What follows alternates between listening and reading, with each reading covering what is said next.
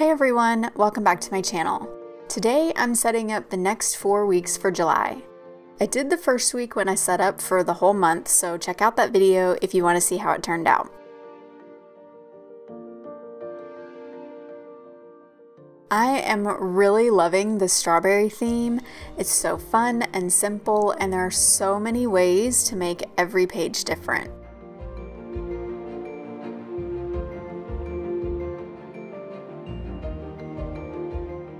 I'm still using my bullet journal as just a journal right now and using a daily planner to keep track of my daily tasks, but I'm missing being in my bullet journal every day. When I was keeping my tasks in it, I would carry it around the house with me and take it everywhere I went. It was nice because it felt like it was truly worth all the effort it takes to make these spreads when I was using it all day long. Now I only open it once a day, and that's just to fill everything out, like my habit tracker and my mood tracker. I'm leaning towards having three journals my reading journal, my daily journal to write my thoughts, and a regular bullet journal for tasks, projects, content, and all the other daily stuff that I need to write down. I'm thinking the daily journal will be just a journal that goes day to day and not a theme per month. I don't know. I'm still trying to figure that out, but I will definitely keep you guys posted. I would love to be the kind of person that just has everything all in one journal, but for some reason my brain likes to keep everything separated. Anyway, back to what I'm doing here. I had so much fun creating these weeklies. Most of these I've never done before, and I love the way they turned out. I'm using all the same supplies that I used for my monthly spreads, and I'll have everything linked down in the description box below.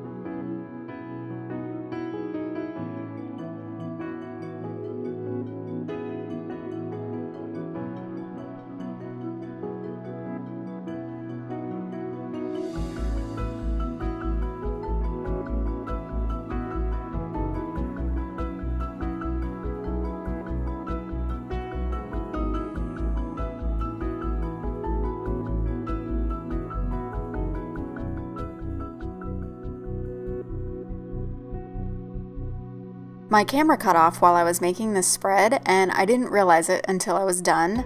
Thankfully, this was the simplest one and you guys didn't miss much.